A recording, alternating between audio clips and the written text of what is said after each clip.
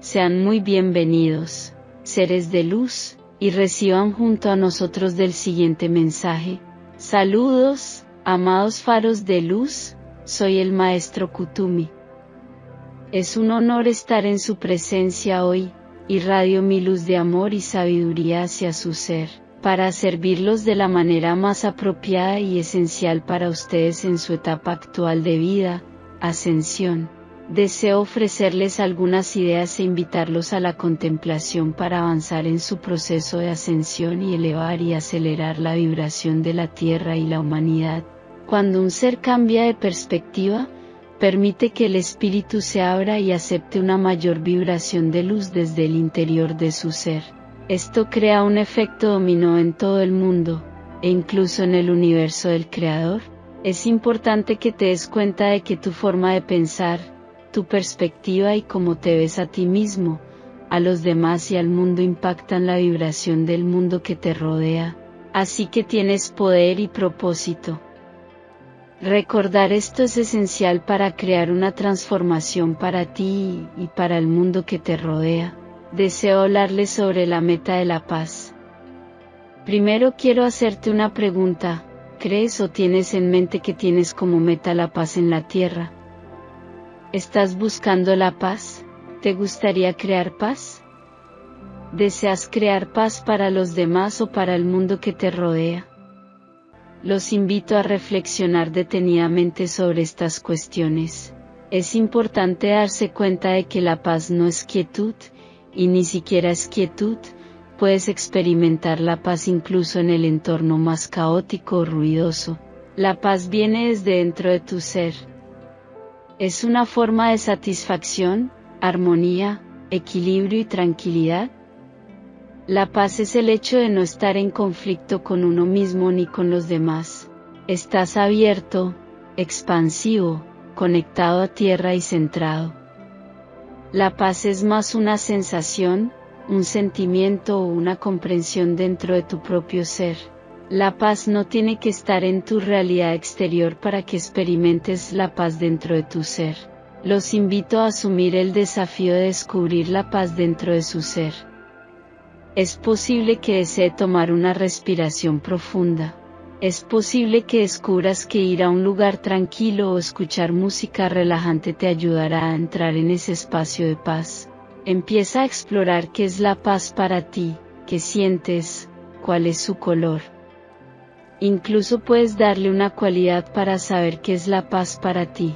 Una vez que te sientas capaz de experimentar esto y acceder a tu paz, te desafío a entrar en un ambiente que es lo opuesto a la paz, tal vez con música a todo volumen, tal vez con mucha gente hablando. No tiene que ser un espacio negativo, solo un espacio donde uno pueda percibir que no hay paz y, en ese espacio, invitarse a encontrar, a descubrir la paz dentro de su propio ser. Puede ser un desafío al principio, o puede que le resulte fácil deslizarse en este espacio de paz. Puede encontrar que es fugaz, viene y se va, se consciente de tus frustraciones. Está frustrado con la gente hablando, la música alta o cualquier cosa que suceda en su entorno.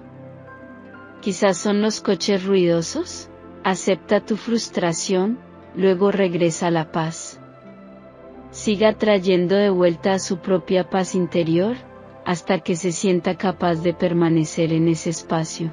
Este desafío es muy poderoso, porque si tienes éxito en él, en verdad, puedes lograr cualquier cosa y todo. Accedes a tu poder, tomas el control de tu ser.